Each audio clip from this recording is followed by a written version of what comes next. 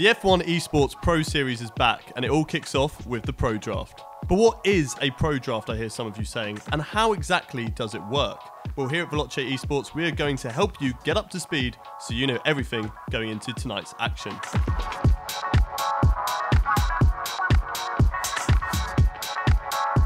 First of all, what is a pro draft? A pro draft is a way for new up and coming talent to get themselves signed by one of the official Formula One teams.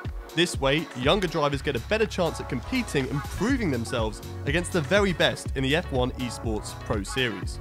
But how does a pro draft work? Teams will take turns picking one driver from the pool of eligible entries. Ferrari will pick first as they are new to the series. As for everybody else, it goes in order of reverse Constructors' Championship positions from 2018. With Renault being second to pick, then it will be Haas, Williams, Red Bull, Racing Point, McLaren, Alfa Romeo, Toro Rosso, before finally the 2018 winners Mercedes can add to their team.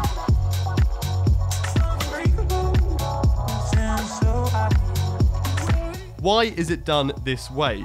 Well, with teams picking in reverse championship order, it gives teams who may have had a difficult 2018 the chance to fight for the championship in 2019, equaling out the field as they can theoretically pick the best driver from the draft. And remember, car performance is completely equal in F1 esports, which makes having a driver who is insanely quick and knows how to set up a car is vital for the coming season. What happens if a team picks a driver that another team was going to choose? Each team will have a whole list of drivers that they will be looking into just in case this scenario happens. But if their backup plans fail, the Pro Draft finalists will be ranked depending on how well they performed over a two day period prior to this. How many drivers can each team pick? Each team has to pick one driver from the Pro Draft, and will each take it in turns to choose their new talent. Teams can pick more than one driver, however, they must have all of their Pro Draft picks in their three man team roster at each and every one of the Pro Series events. So there it is, everything you need to know before tonight's F1 Esports Pro Draft event. Let us know in the comment section below which team and driver you will be cheering on this season.